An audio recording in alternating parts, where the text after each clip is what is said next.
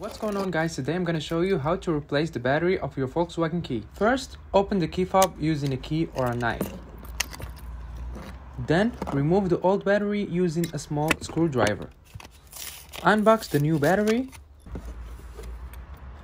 and install it like so.